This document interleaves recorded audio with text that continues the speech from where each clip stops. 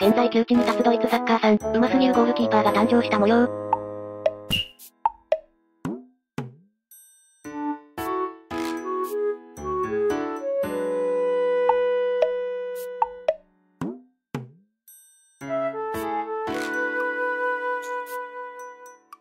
おままより上手くてラッシュよりシュートうまいやん。